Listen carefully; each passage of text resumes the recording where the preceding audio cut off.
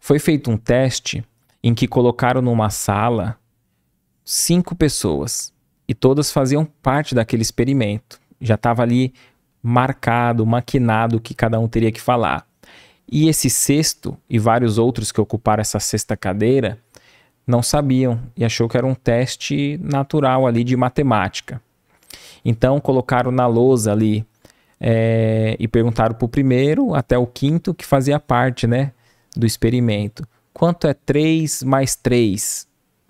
Aí o primeiro, óbvio que é 5. Aí o último lá na cadeira, né, que estava participando do experimento, olhou assim, viu todo mundo normal. Aí o segundo, 3 mais 3, 5, óbvio. E o outro também, o outro também, todos confirmaram. Quando chegou no último, ele disse: É, 5. Então fizeram esse teste com várias e várias pessoas e mais de 70%, sabendo a resposta certa, foi com a maioria. Respondendo errado, mas foi com a maioria. Então eu imagino como que esse mundo não irá melhorar quando um pouco mais da maioria já estiver inclinado ao bem, ao amor.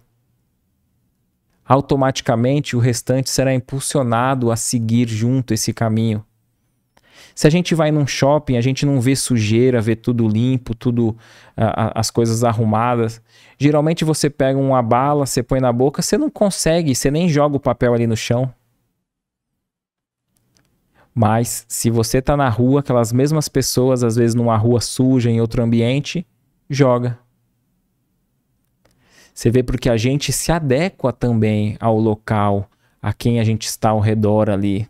Isso tem um impacto muito grande conosco.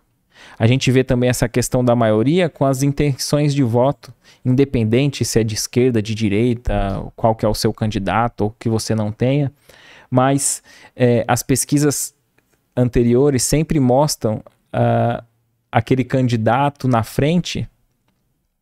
São às vezes, algumas vezes a gente vê que é pesquisas que saem juntas ao mesmo e, e uma mostra um candidato na frente e o outro mostra o, o oponente, o opositor à frente. Por quê?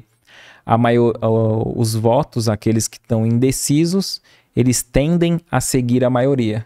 Então é uma estratégia também de votação para nos induzir. Então a gente vê que é algo real. Então que a gente possa se inspirar naqueles espíritos dignos e nobres que têm dedicado a sua vida a uma função, a uma tarefa que não beneficie apenas a si próprio, mas que beneficie a toda uma coletividade. O que você achou desse corte? Coloca aqui nos comentários a sua opinião sobre esse tema. Para ver o episódio completo, é só pesquisar Recomeçar Podcast Espírita.